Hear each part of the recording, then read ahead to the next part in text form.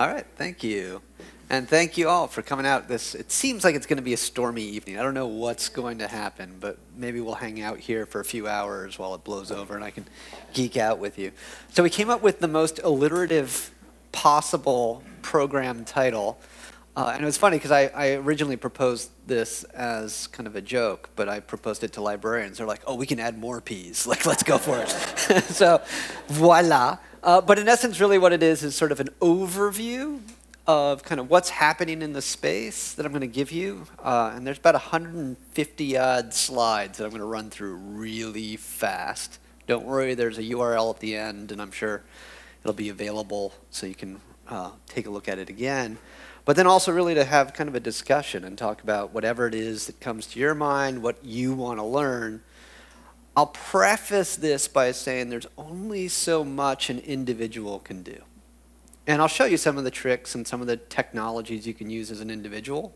But if there's one take home message, it's that an individual is, while not powerless, of limited agency to protect your privacy. And that's really what the Facebook Cambridge Analytica story is all about. It's not just what you choose to post online.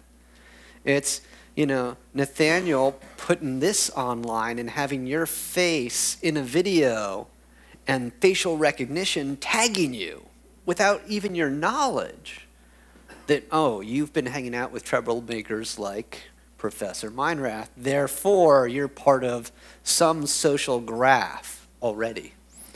And that's happening if you can imagine how many pictures are being taken on campus this week.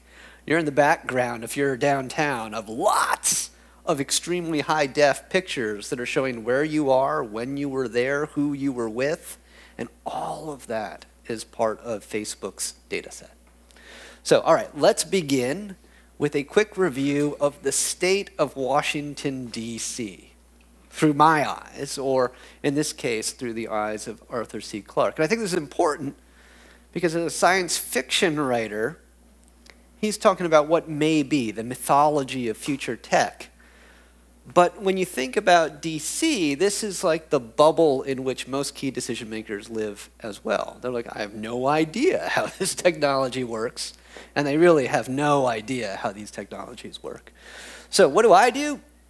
I work in DC, and I think like I'm the most important person, I use that term loosely, in The Wizard of Oz, right? I'm this guy. I show people what's really happening behind the curtain. I expose the technologies, the business models, right? I'm the unsung hero who never really gets their fair time in the spotlight. And there's a bunch of us, right? It's like a pack of terrier dogs, right? That, that are doing this kind of work. But on the public interest side, that pack is probably countable on my fingers and toes. And that's it. So take that up against all of the lobbying power of all of the telcos and the big tech, right? The Amazon, Facebook, Google, Microsoft, Apple quintuplets, and you realize just how outgunned we are in these spaces.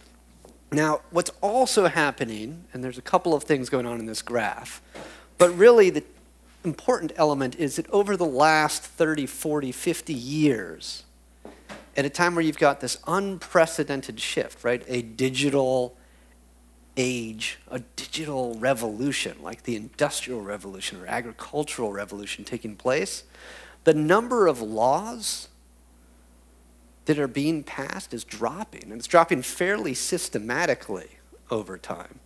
So you've got increasing change, a slowing of legislative like updates, and so what you end up with naturally, would be a growing divide between technological realities and legal realities. And this is across almost every sector. Any place where technology intersects, which is pretty much every place in your lived lives, our laws are becoming increasingly out of date. And whereas 20 years, 20 years ago, meant something important, 20 years now is like even larger a gulf. because the iteration of technology is accelerating. So here's what it looks like. It's pretty bleak, right? And the end result is a society that is in a serious state of regulatory, legislative, policy, rule of law decay when it comes to mapping onto what's actually happening in our lived lives. So, what I call this is the gulf of ignorance, right? And you can imagine if this is technology, or let's call it just the internet, and this is the technological acumen of the people making decisions, the end result is that ever wide, like when you go, and I, I work a lot on the Hill, so I get to meet the legislators. These are not evil people doing evil deeds, right? They're not the Mr. Burns of Simpsons fame, right? These are folks that just have never had to know the technologies, have never been exposed to people who are telling them the implications, have never actually had to deal with the on the ground lived experiences, who have no idea, honestly, have no idea what Facebook is actually up to. And what this looks like is very, I think, very troubling. Right? So here you have a time Dianne Feinstein was overseeing the NSA. And this is right after the Snowden files were first coming out, and people were saying, hey, the NSA is doing all this surveillance. And here's her response.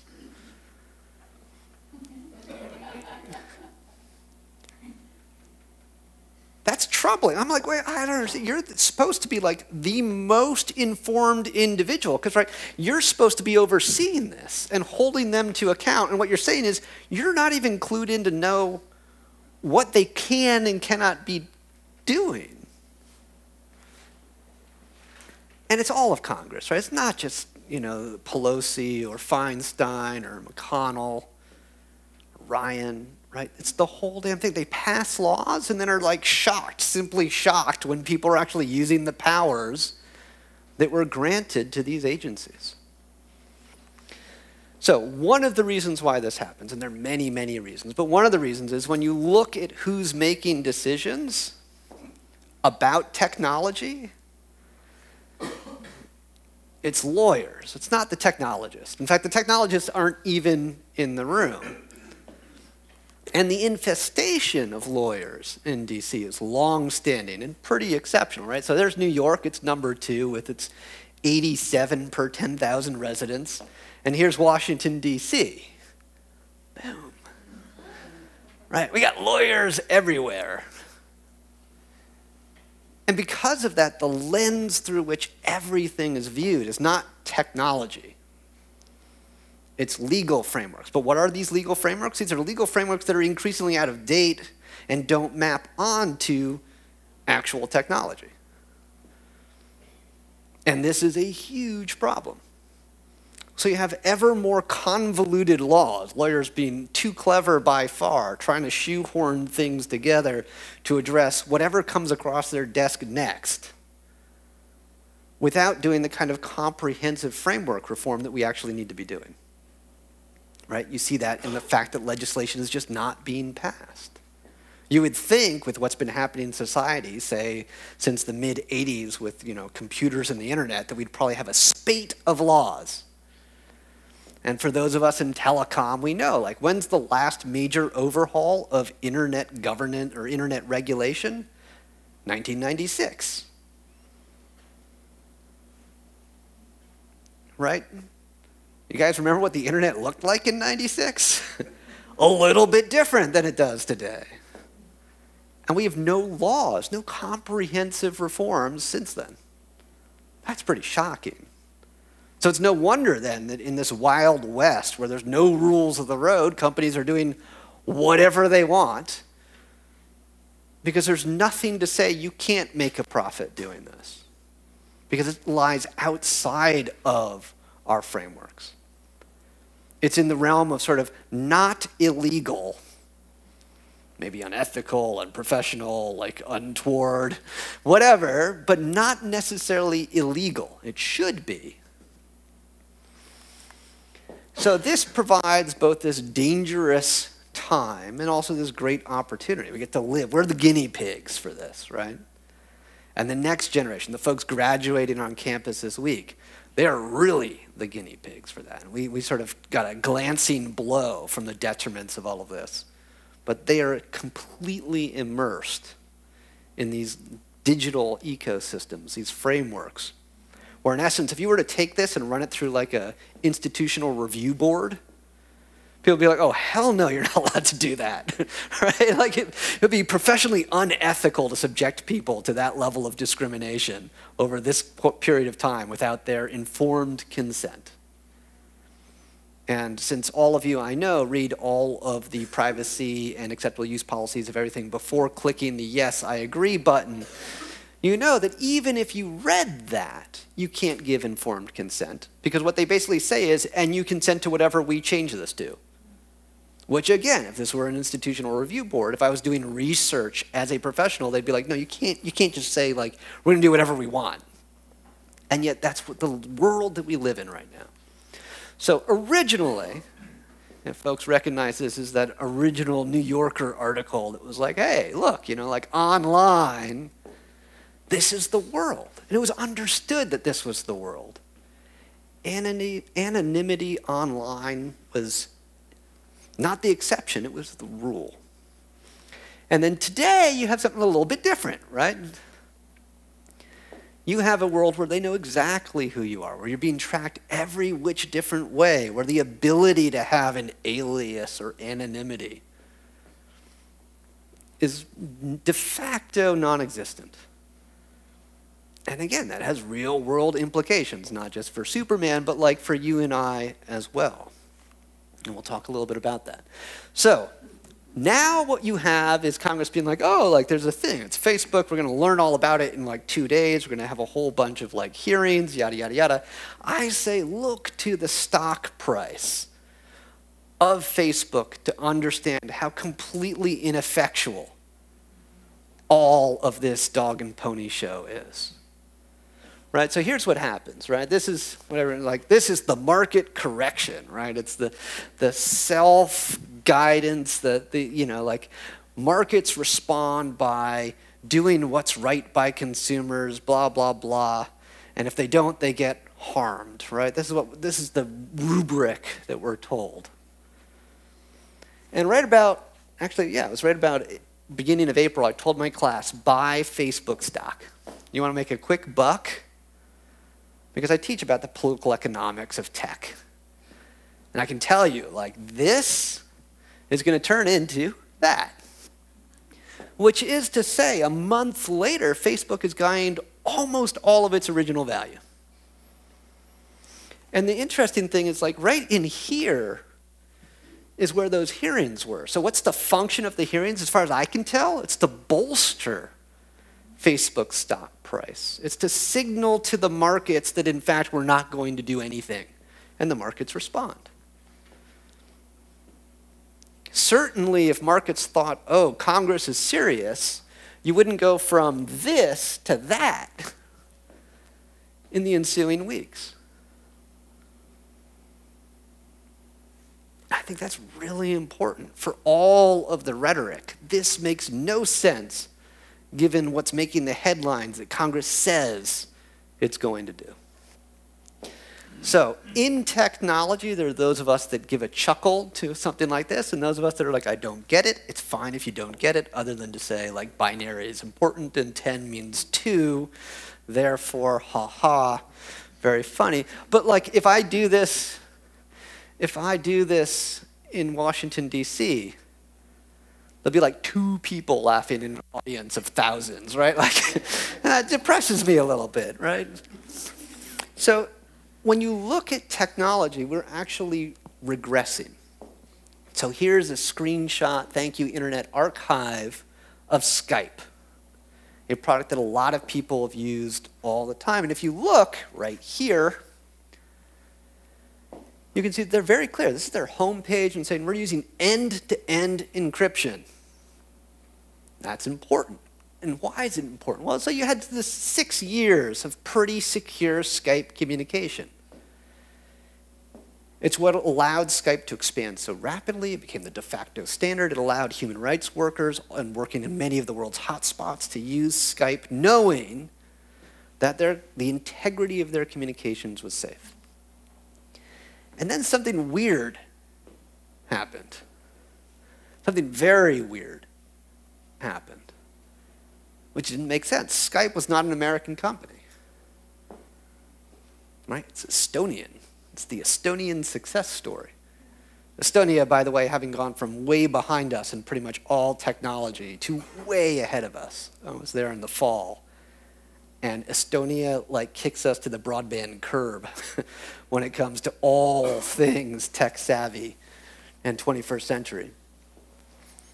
And the reason why this matters is because really what this is about is a business model and a set of requirements mandated by the US government to make our communications less secure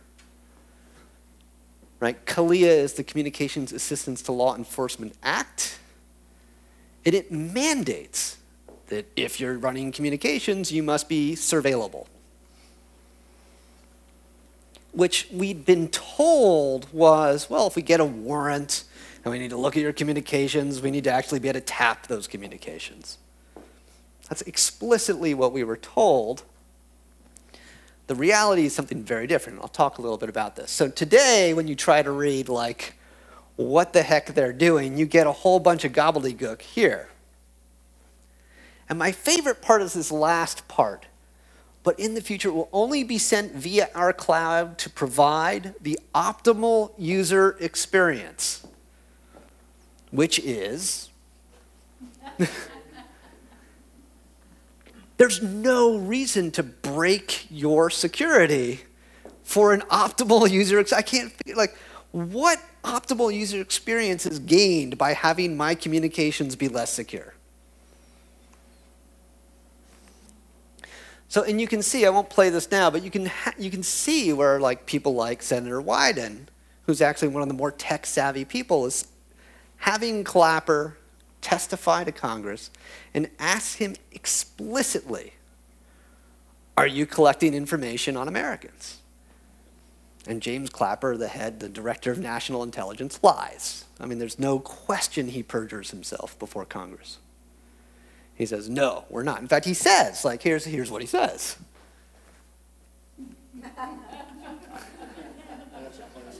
right? Like, I mean, what? And the thing is, like, we can't even call this a lie in the media. We can't even have an honest conversation. Be like, so you lied under oath to Congress. I'm pretty sure that's a no no.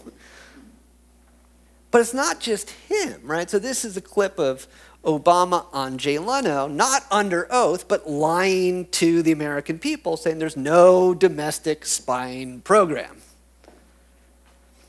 And this was said at a time before this right? And these are not my slides, these are the NSA's slides.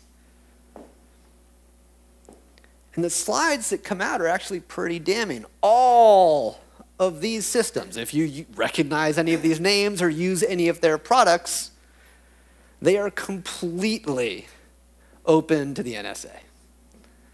And it's interesting because at the same time, these exact same companies are saying, hey, we are protecting your privacy they are giving your data to the NSA. This is established, verified fact.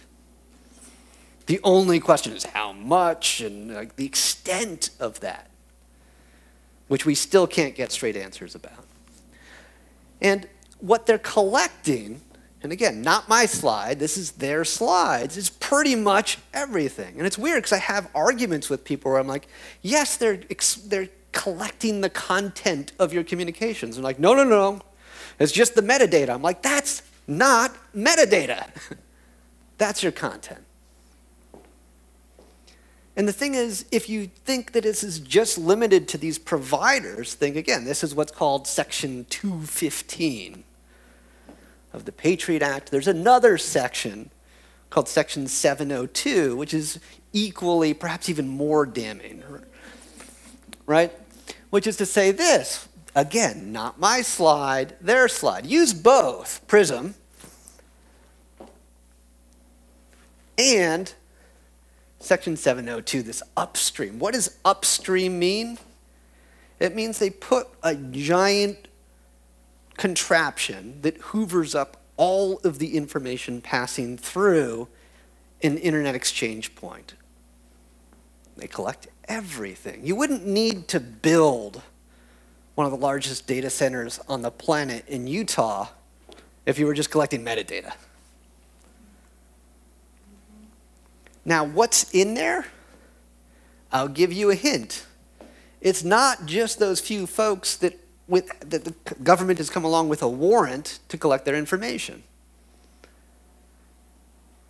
And all of this is facilitated, greatly enhanced, by the fact that so much data is being collected on all of us that we never gave our informed consent to collect in the first place, that is then turned over in partnership with the US government.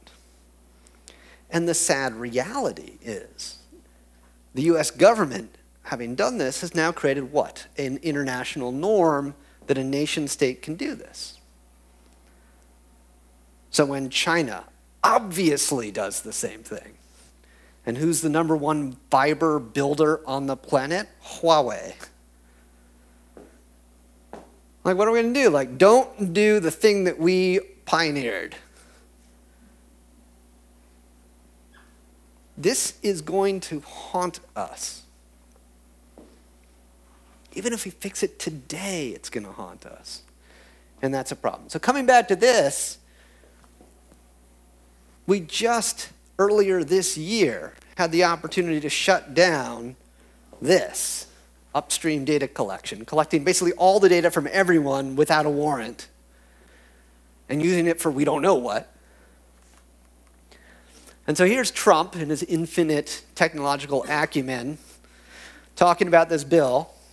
And it's like, to me, this is like a great, a great study. So how long does it take? This is 4.33 a.m. How long does it take the NSA to learn, like, the president just tweeted this thing, holy crap, get somebody down to the president's office and brief him on what he should say. Well, it turns out, until 6.14 a.m.,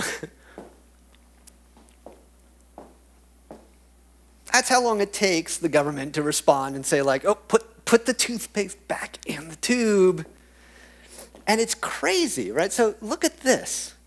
He's reauthorizing a bill, and in the same tweet where he's saying he's reauthorizing, he's saying it's not the same bill.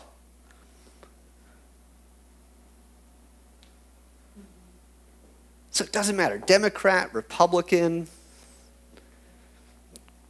same problem. And it's getting worse right? Why stop at just completely eliminating Skype? There's all these other secure systems that the Attorney General of the United States is like, it's secure, we really need to make that insecure. Because trust us, we'll be the only ones with the key. Do you believe that for a second? Like, I mean, are you kidding me?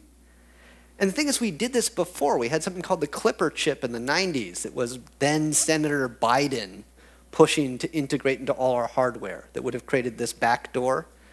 It took a guy at AT&T, a guy named Matt Blaze, less than a year, or maybe a year and a half, to crack it. One guy. So I'm like, you want to put a backdoor and expect that the entire Chinese government isn't going to figure out a way to route around that? It's a one way transformation. Once that's broken, you can't then undo it. What a stupid idea. But it only makes sense to those that don't understand the implications. I don't think that Sessions has sitting been like, you know what I want to do is like make all the fraud that's ever happened thus far child's play. I want to undermine the communications, right? Because this would only affect American communications. You think the French are like, oh, hey, let's, let's harmonize with them and make all our communications insecure too. So it's like we then get the worst security on the planet.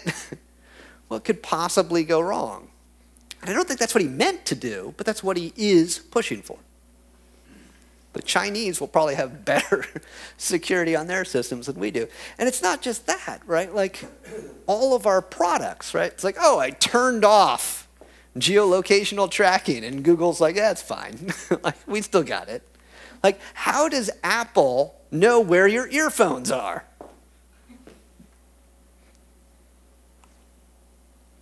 Unless they're tracking them. And this has very real implications. Like, it's crazy that in 2018, the United States military accidentally exposes its secret bases because the Fitbit equivalent is tracking soldiers doing their workouts, and nobody thought, like, hey, that's probably a problem that should be addressed, right? Like, that's the first that they recognize that this might be a problem. So it goes at every single level of government, and it goes at every single level, right? This is the Vizio TVs, that it turns out they're watching you while you're watching them. And as if that wasn't enough, then Consumer Reports came out and said, actually, it's possible for hackers to break into these things because their security and encryption is so poor and watch you. So you buy a product, and then it becomes like a mechanism for whatever to watch you in the privacy of your own home. And I'm sure somewhere in the bowels of Vizio, they were like, can we make this a feature? right? Like, this has real world implications, and there's no meaningful accountability. Right? Equifax lied on multiple different levels here. And again, if you looked at Equifax's stock price, I, I haven't, but I would bet it's like right back up where it was before. Because people know that there won't be. This makes me a little bit crazy because I'm like, well, what? I mean, this is so obvious. We have so many examples. It happens so often to so many people. Why isn't it being addressed? So here's what can be done, right? First of all, it's very easy to get a little demoralized about the state of technological and legal reality. Uh, you know, I'm just going to put that out there and admit that. Like, this is not exactly a fun thing, and it feels a little daunting or overwhelming. But we've gone through this before. We went through this before with COINTELPRO, the counterintelligence program that targeted pretty much like all lefties, all civil rights people, feminists, you know, peaceniks, environmentalists these were the 1950s and 60s definition of the terrorists that they were after and targeted directly, explicitly. And at the end of all this, when this finally gets exposed publicly, Congress, unlike today, creates a committee to study this and say, okay, how do we fix this? And I'm not saying this worked perfectly or anything, but at least they were forthrightly addressing the problem. We desperately need another one of those desperately. We're not going to get it in the here and now, but 2018, 2020, we'll see. Like maybe finally, and again, this is not Democrat or Republican. This is leadership of the Democrats and Republicans, and then that is against progressives and libertarians.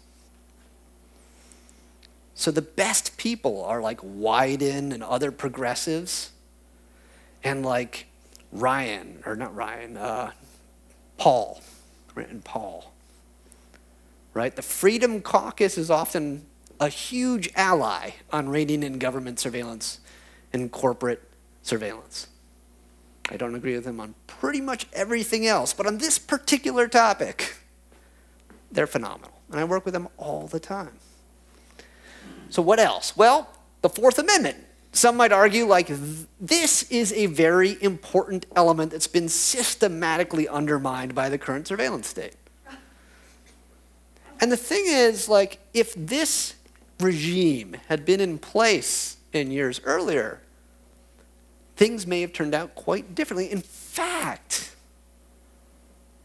the Fourth Amendment was directly created in 1791 in response to what the British were doing. Right? We just finished this war and we're like, okay, what did we learn? That's really what the Bill of Rights is like. Okay, we learned this. Like, don't quarter. I mean, you ever read that? Like, you're like, what's the Third Amendment? Why is it that? You know, it's like, yeah. And here's what it says, right? And I think this is incredibly important because there's no asterisk that's like, oh, unless you're chasing terrorists, child pornographers. I'm not saying like I like terrorists and child pornographers. I'm saying like rule of law says they still get due process. You still have to follow due process. And we don't. We absolutely don't. And we don't on pretty much everyone. That's a problem. I think eventually, I'm all but certain that eventually the courts will have to and will rule that most, if not all, of these programs are illegal and unconstitutional. Because the Fourth Amendment is so clear on this. And we'll look back in the history books of 2050 and be like, it was a dark period, right? And we'll talk about like Dred Scott and whatever that, you know, like, it'll be like that. Because how crazy is it to live in a country with this as part of the Constitution, knowing, as we all now know, that PRISM and Section 702 are sharing our data to law enforcement systematically of hundreds of millions of Americans that have not committed a crime. So, today, unlike in COINTELPRO, where we're trying to get like Martin Luther King to commit suicide, true story, by the way, if you haven't read the FBI letter to Martin Luther King trying to get him to kill himself, Google it. It was released to the, I think, the New York Times in 2014 after they attempted to keep it out of the public view for decades. But today, it's Black Lives Matter. Right? What's a black identity extremist? What, what is the race paper that folks have been FOIAing for? They finally did get it FOIA'd, and it was 100% redacted. Right? And isn't it weird that we got like black identity extremists and not white identity extremists? Last I looked, last I looked, we actually had white identity extremists in this country. And yet that isn't even on the radar. What we are finding is that the government is, and again, I can't say illegally yet because it's in the courts in process, but will eventually, I'm quite certainly, be found to have done illegal surveillance of modern civil rights activists. And that's a real problem to me. I think it should be of great concern to anyone that believes in rule of law. It doesn't matter if you agree or disagree with what they're doing. And we're living through that too. So here's the reality, right? Things have shifted. And the tech savvy amongst us are more empowered than we've ever been in human history. Finally, right? Like I've been waiting for this for decades now. And so there's a lot that we can actually do. Simple things, like on all of your email accounts, social media platforms, etc., to turn on what's called two-factor authentication. You do that, you can have pretty much the dumbest password imaginable and still be relatively secure. And I want to tell you, like, none of this guarantees your security but it addresses like 99.9% of your risk. It's better than a seatbelt.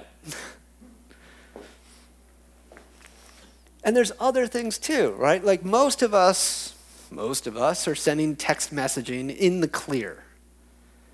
And by that, what I mean is every text message you send is sent in plain text and is surveillable not just by the provider, but by anyone that wants to invest the 20 to $500 to surveil you. And the weird thing is, when then Senators Kerry, uh, who was the other one? John Kerry and Lugar were still there, right? We briefed Congress, and they were like, well, tell me about how you do surveillance on, on your mobile systems. And so we did, but we did more than that. We actually brought in a bunch of surveillance equipment to the Capitol building and set it up. And we named it like, do not ever connect to this network. But in essence, if we'd named it AT&T, all of the cell phones in the Capitol building would immediately connect to our network because it was the strongest. That's how stupid our cellular networks are right now. And so when just this last, was it, two months ago, people were waving their hands in the air being like, oh my God, I can't believe that there's a rogue data collection system somewhere in DC that could be used for surveillance. We're like, we told you this 10 years ago. like, I don't understand why you're still not getting it. So our techs are very insecure, but so are your browsing habits. Oh my goodness. And somebody had asked uh, online, one of the questions was about, you know, like if I delete cookies between sessions, is that enough? It used to be, back in the day, you know, like five years ago, that would have been enough. But now there's all sorts of other mechanisms that are being used to track you. In essence, what they do is they collect not just one, but say like 50 or 100 different variables about your computer the screen size, the different software packages that you might have installed, the you know, different settings that you yourself set. And they collect so many of them, it creates what's called a fingerprint. And that fingerprint follows you around. But there's other stuff, super cookies, cookies that you delete but then reinstall themselves back on your system. You know, it's like herpes, but for your computer, where you're just like, why won't this go away, right? Like, I mean, it's just horrible. And not illegal. Because our laws predate the existence of that business model. So now you need to do more. It becomes this cat and mouse game. It becomes a cat and mouse game you can't win. You can alleviate the risk, but you can't win it. Number one thing you can do is put a password. The worst password is better than no password. And a lot of this is actually fairly low hanging fruit. What's the learning curve on that? Somewhere between two and 30 minutes to lower your risk profile by 99%. So here's the homework that I would give to you, and I give it to all my classes when I teach them too, right? Like, so what is it, the data that you keep? In essence, what happens if people get it? What would people want to do with it? All that.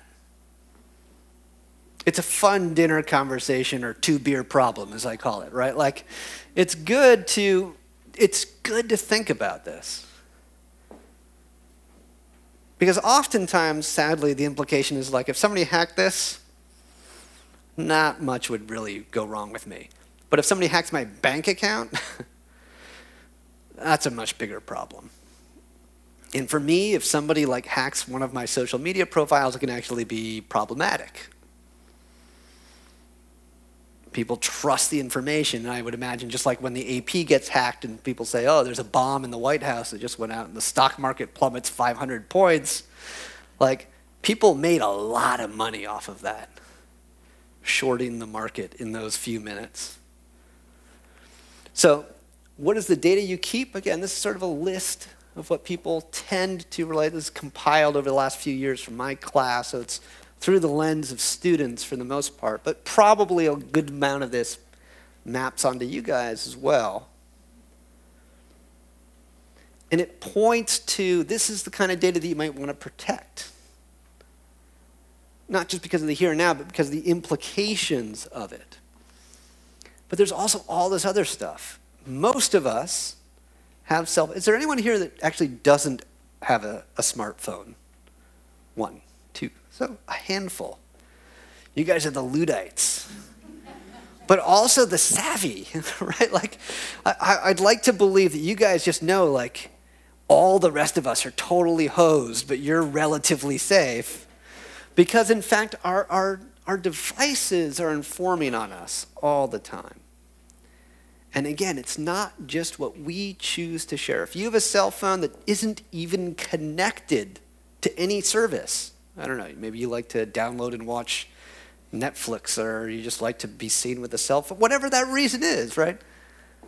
The fact that you come into the same room with somebody else and that you both might have Bluetooth enabled means that their cell phone is tracking and and knows that it's come within a certain radius of your cell phone. And that information gets reported upstream as well. So now, when you're thinking about social graphs, it's like if I go and like rob a bank, they want to know who have you been talking to? Well, they're going to go to my Bluetooth stuff and find out that all you might be conspirators. It's guilt by association. And what does that mean for things like freedom of assembly? These are real world tactics currently being used, and in essence, we have no idea how.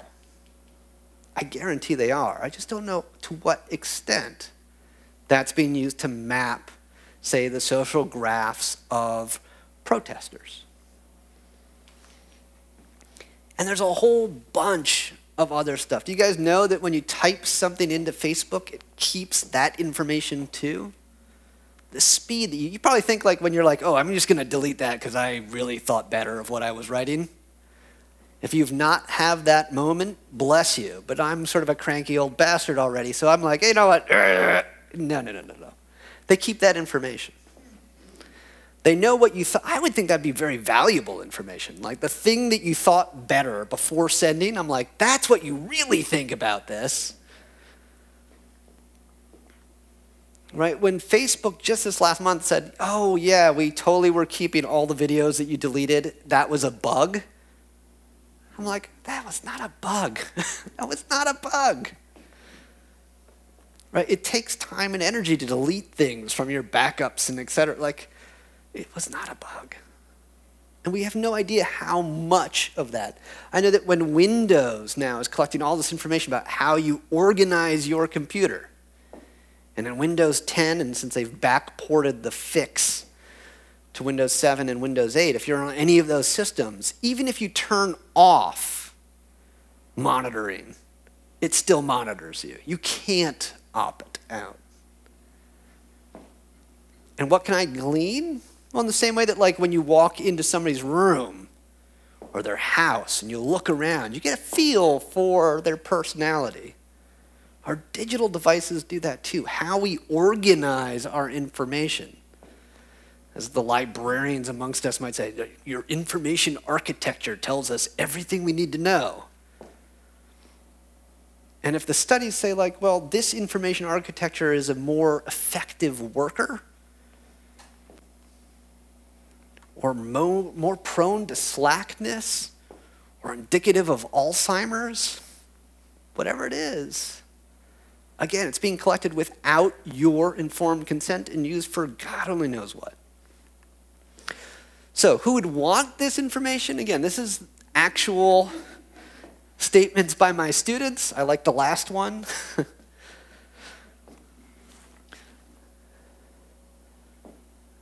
right? It's not hackers for the most part. No hacker really gives a crap about us, right? Like, we're just not that important. But your insurance company, now they certainly want a lot more information about you. Your future employers, they want a lot more information about you. Right? Corporations that want to sell you the next widget or stupid product, like forget Ginsu knives. This is going to be like, totally tailored to you specifically, and you'll think like, I really need that. Even when you don't. Right? If you've had kids anytime in the last few years, you know, like you're basically told like you want to be a good parent, you need to put away the cord blood for your kid. It's like only for $1,500 you can be a good parent. I'm like, man, imagine that. Like until five years ago, we were all bad parents. like, who knew? products that we don't need are now the new norm. And again, like we got a glancing blow on this. The next generation, the current generation, they're getting this all the time. You can't escape it. So passwords, multi-factor authentication, the use of things like Tor for browsing, Tails, T-A-I-L-S, if you're looking for a secure operating system. But, oh, but mainly increased awareness. That's what we can do as individuals. And then you have to leave the realm of the individual and get into something much, much bigger. right? The legislation, the, the, regulation, the oversight, the accountability, the consumer protection laws that haven't been updated in decades and desperately need to be updated. So the FCC, the Federal Communications Commission, the folks in charge of our communications systems, networks, that set the rules of the road, the parameters for doing business. Right? What are they doing instead of protecting us? Like, what makes the FCC move with blinding speed? Right? We, we have a name for it, right? We call it Nipplegate. And I'm telling you, like, anyone that says the FCC can't keep up, I'm like, no, no, no. Janet Jackson's boob shows us that the FCC can move quickly on anything it really wants to. And the Federal Trade Commission, right? The Federal Trade Commission, ooh, ooh, can also do that, should also do that, is in fact required to do that. And I want to spend a little bit of time looking at the FTC because I feel like, you know, this is illegal. If you put your name or your number on the federal do not call list, it's not just illegal, it's illegal and subject to an $11,000 per occurrence fine. And I'm like, I don't understand. Like, I cost somebody hundreds of thousands of dollars a week. What's going on? How can they be this inept at that? How can they forego or forego all this stuff that they are required under statute to look for, to prevent? How do we have month after month continually headlines showing that the FTC is not doing its job and no one's like, I don't understand?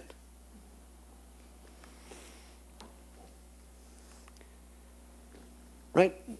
The number one thing in my mind that's rampant and isn't being done anything about, right? The FTC is charged to prevent discrimination, and yet that's the new business model.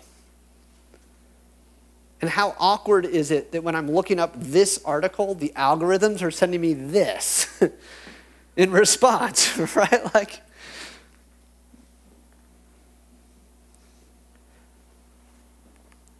so we today are completely enamored by this notion of big data. It's shocking, in fact, just how like in thrall, as it were, we are to big data. It's magic to us. Right? We're like, I don't, I don't know what your problem is, but the solution is going to be big data. We've got a profile for that. We've got an algorithm. As if like I don't know what the algorithms written on like a Torah or like you know like uh, a couple of golden tablets. Like where did these algorithms come from? Humans. What do they do? They find new ways to discriminate. Ways that we're told are magically not illegal, but keep being found to discriminate against protected groups. Fourth Amendment be damned minority status be damned, right? We know that Google for a while was giving ads for jobs that paid lower to women than men. Is that illegal? Yeah, it's blatantly illegal. And it took independent researchers to figure that out. And what did the FTC do? They said, don't do that again.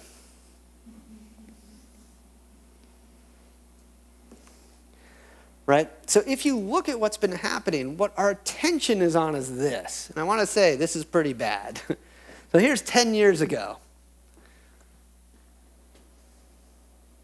Right, so the big ones, uh, Heartland, 130 million, TJ Maxx, 94 million. This is what it looked like. But it's like you see names that you recognize, even if you don't recollect, Gap and AT&T and what have you the U.S. military getting hacked.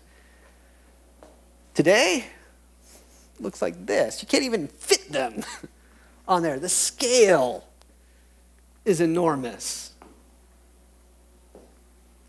And no one anywhere has said, hey, I've got an idea.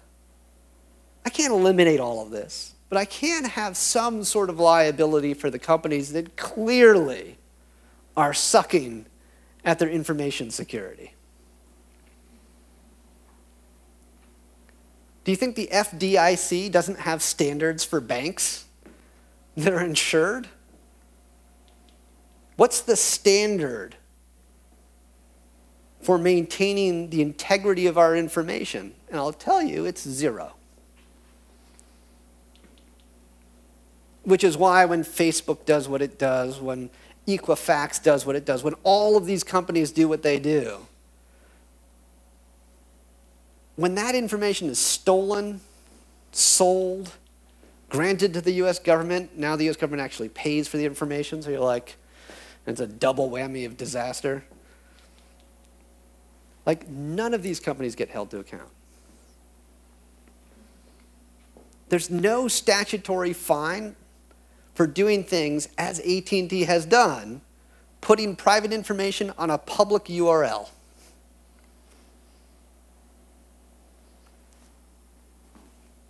That's shocking. And so we tell them, don't do it again. I'm like, that's not working.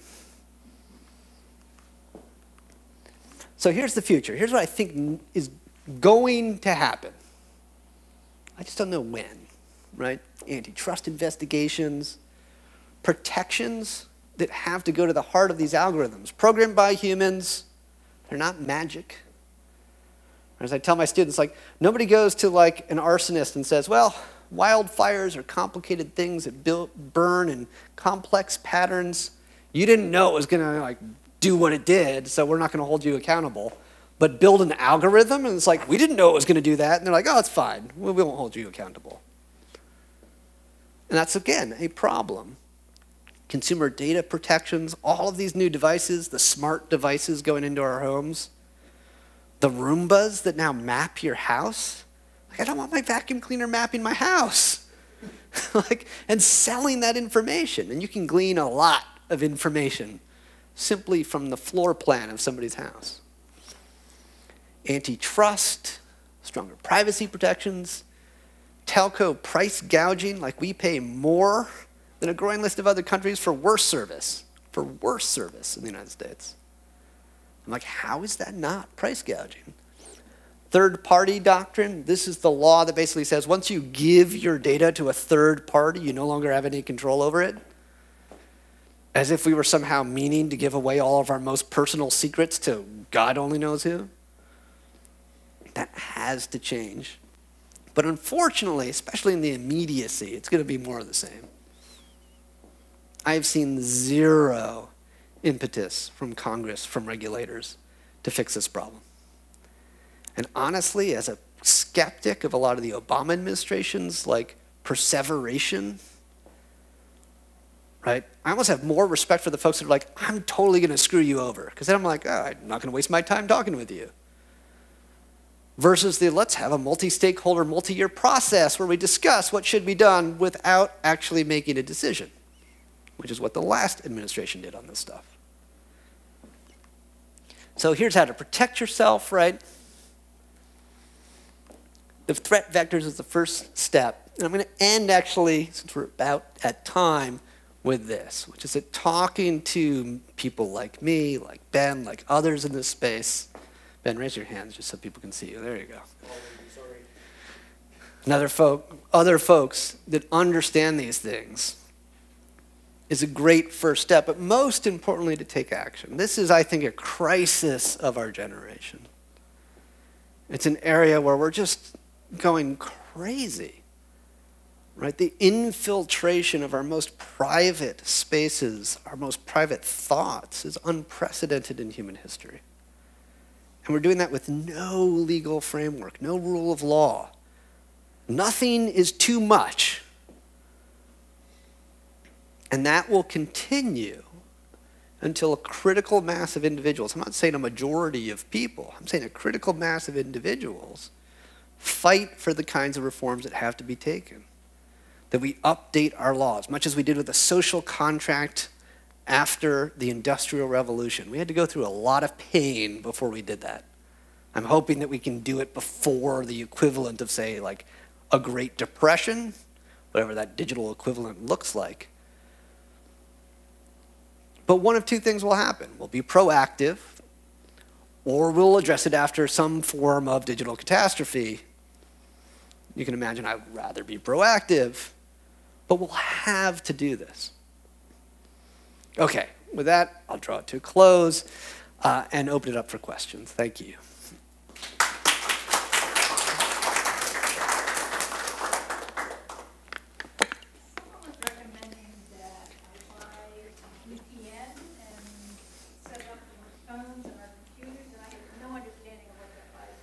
Sure. So uh, this question about what does buying a virtual private network, a VPN, get you? So back to that Skype example and encryption. What a VPN does is it takes your connectivity. I get online, let's say from my cell phone, grab the cell phone, and I want to go and search Pirate Bay for whatever reason, for research. Well, if I do that, say from Penn State, Penn State University says, no, no, no, we're not going to let you access Pirate Bay from our network. So a VPN says, okay, I'm going to encrypt from your cell phone, from your edge device to some third party location.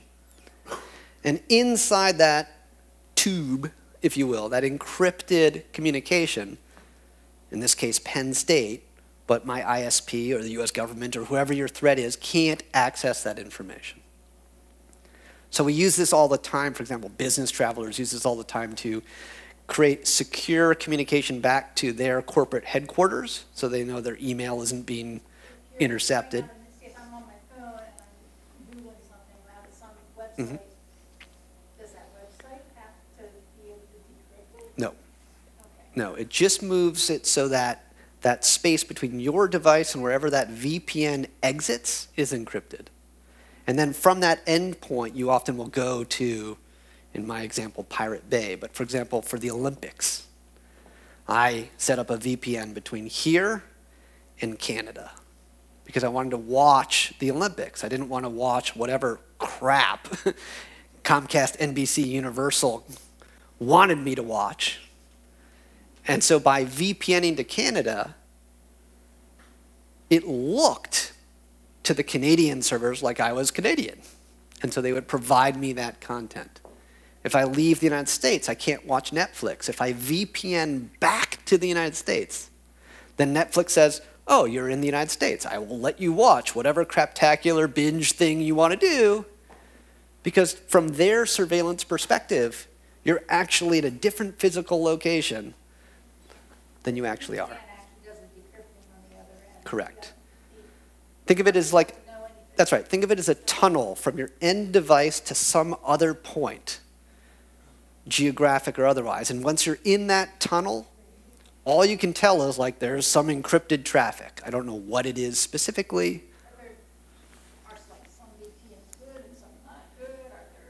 There are, yeah, and, and again, I would, I would, I have my own favorites, but I would say, you know, if you just Google for VPN reviews and go to a site that is, there's a lot, I should say, once you do that, you'll get a zillion bad reviews. But if you go to like PC Magazine or, you know, I keep trying to get Consumer Reports folks to start adding digital products to their portfolio uh, because I feel like we desperately need reviews of these kinds of things in the same way that we do for cars and coffee makers.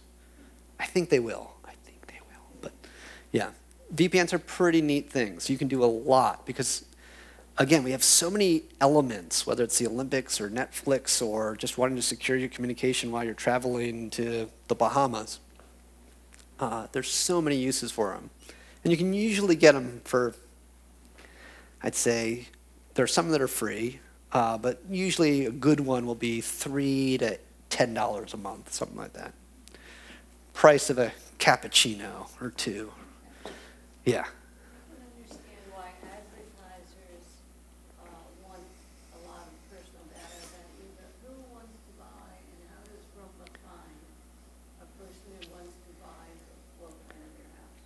Right. So the question is how, how do these folks that are collecting information collect that collect the information connect you with somebody that wants to buy that information? And the answer is there's a whole multi-billion dollar industry of data brokers, and that's all they do. Right? So in the same way you can go onto the dark web and be like, so I'm looking for drugs, sex, or like pharmaceuticals. Data brokers are like, I got these data sets, who wants them? And they just do that. That's all they do.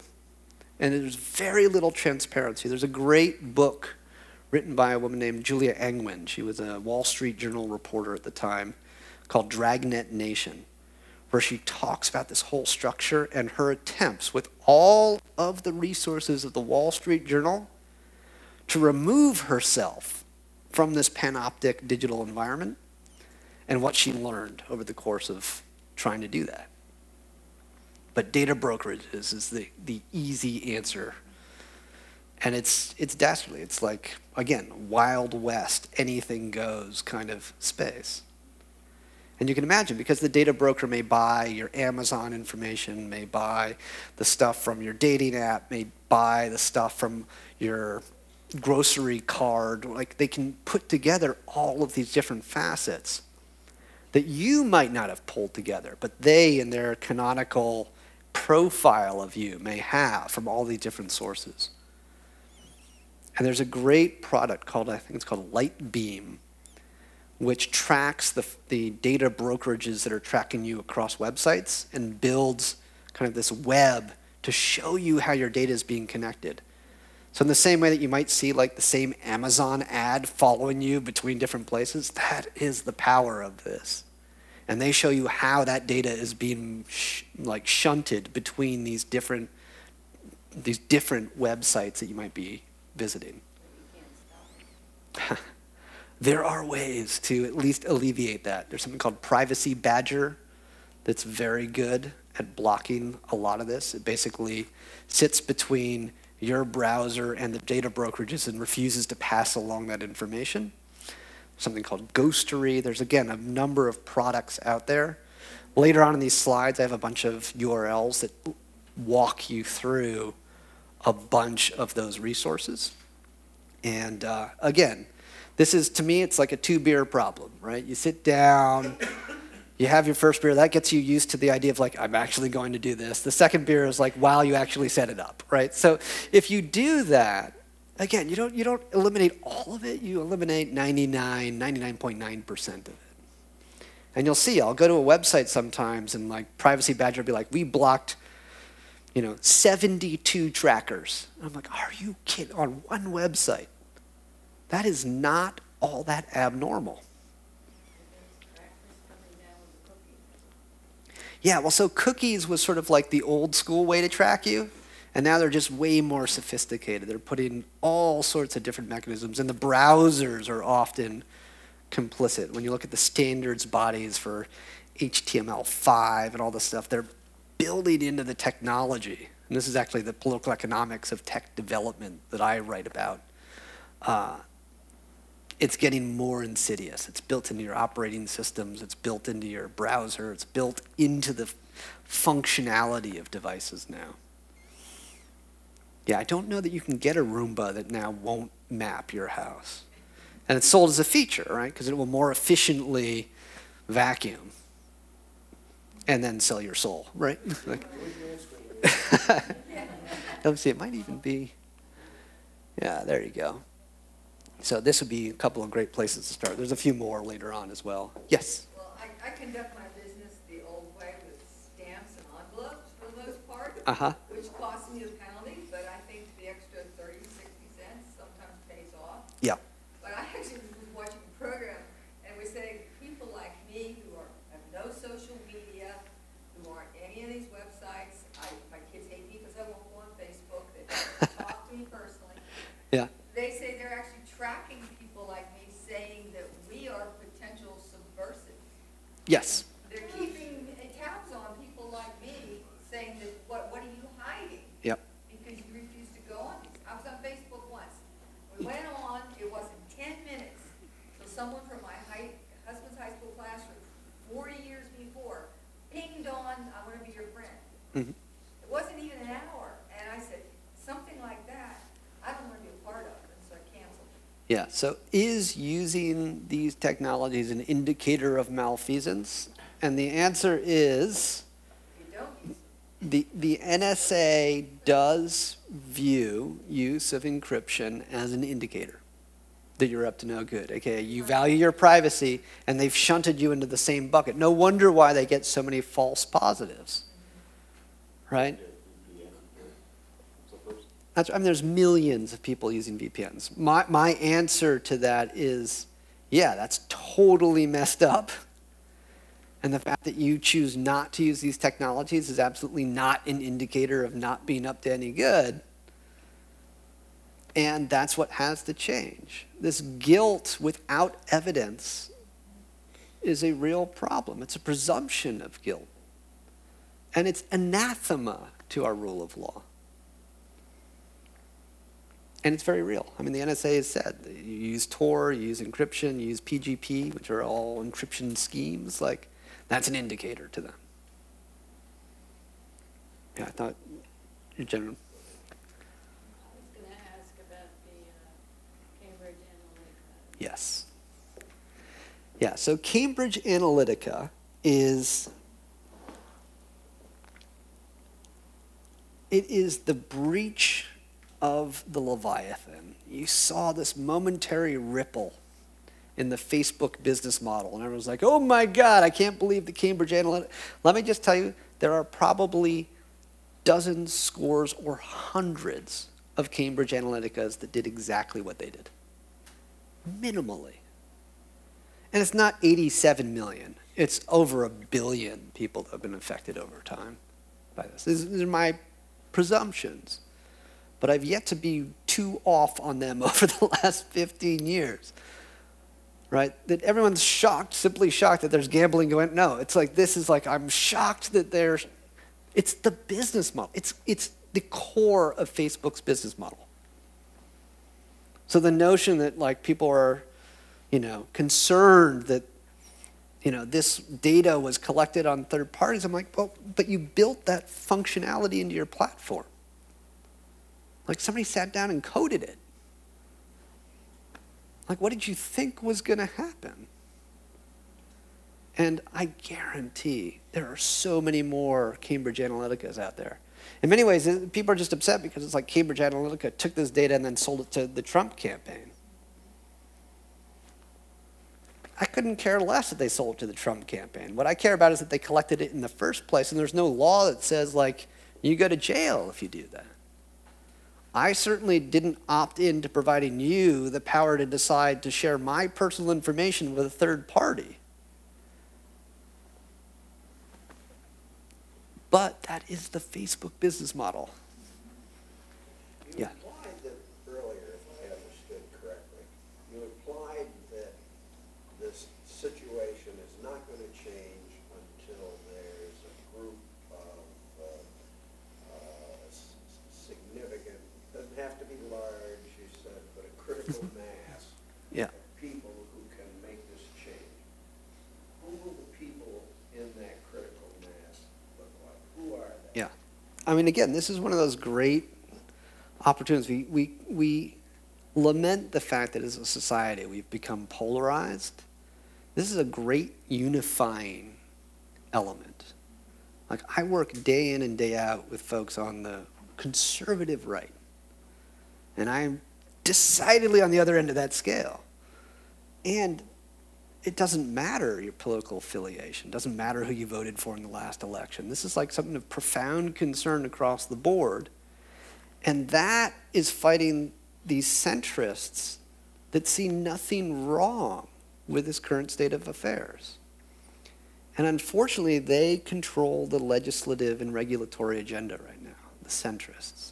How is that going to change? We're, I mean, to change that? Part of that is we're witnessing that process unfolding right now. The reason why there is an unprecedented, unprecedented number of folks retiring from Congress, and it's left and right, well, or I should say it's centrist left and centrist right, but it's all those folks right in the middle and leadership that are jettisoning. I think Pelosi is going to be gone pretty soon too. That's good. Oh yeah. we are in such desperate need of new thought leaders in DC. They'll probably look a little younger, but they'll also they'll be the folks that are able to say, look, we can keep arguing about abortion and gun rights indefinitely and not make any forward headway. Or we can form a legislative agenda on all of these other issues. And it doesn't matter, populist left, populist right. Like people are like, you know what I'm concerned about? Economics. right? What I'm concerned about is job security. What I'm concerned about is like what's happening to our infrastructure. What I'm concerned about is broadband connectivity. I'm like these are giant shared areas of interest. But if your goal is to try to balance out the legis- like these left and right and maintain power, you keep putting up the exact same elements that split and divide. And I see this day in and day out by leadership of both parties. And they do stupid, crazy stuff, like what's called a um, filling the tree. So when a bill is introduced, there's a parliamentary trick. When a bill is introduced, you get 30, or sorry, 23 slots for amendments. And when they don't want to have amendments, amendments that would absolutely pass, when they don't want that, they fill those 23 slots with like stupid amendments, like substitute a semicolon for an and, and like, I mean, all this stuff, so you cannot actually have a democratic, deliberative, iterative process of improving a bill. To me, that's like completely anti democratic and it's normative. And so we constantly are finding, like, whether it's, you know, Justin Amash trying to introduce an amendment that would absolutely pass on Section 702, or Wyden, so Amash is on the right, or Wyden in the Senate on the left, being like, hey, we're going to, like, so many places where people actively prevent a, if not a consensus, at least majority rule in these spaces. And you think the political process is going to change that? I think the people involved, right? I mean, we forget it's 535 people. And that's not a whole lot of people. Now, oftentimes they're very insulated from things. And I think that we're living through the. I was like, I thought I was just hearing it. It was just me. But, like, yeah, I, I hate to say it, but there's almost like this rate of attrition, you know, mortality rate holding steady at 100%, like, you know, like that has to happen to make room. And again, what I see is like, you know, what we're told is like millennials don't care. I hear that all the time on so many different issues. When I talk to millennials, however, they're just like, look, I don't think there's anything I can do on this. And you know what? They're totally right. But it doesn't mean that that group won't immediately see the import of what I'm talking about. But Sascha. Yes. Do do you see that group seeing the import? Because they have grown up where they are sharing and using, well, they are volunteering this information that is Mhm. being collected, and it's normal for them. At one point, if people are going to make a change, what on earth triggers them to look at this differently than they do?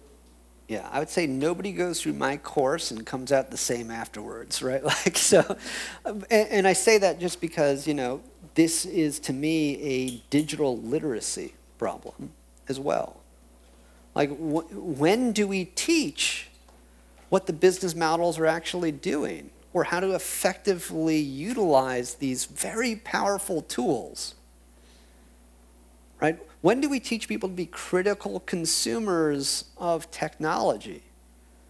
Right? So we got, you know, the three R's, and it's like, and digital, eh, whatever. We're just let it ride. You know, like that, that is a serious shortcoming on a societal level. If you want to look at why is it that Europe is so far ahead of us on so many different technical, legal proceedings, look at the schools and you see that people are taught to be a little more concerned about the Facebooks and Googles and what have you of the world. And I'm not saying they're doing it great, I'm just saying they're doing it far better than we are. And again, we're already seeing, if you're wondering why have I gotten so many new privacy policies in the last few weeks, It's because Europe passed a privacy law, and all these companies that do business in Europe are now like, oh crap, we got to comply with that.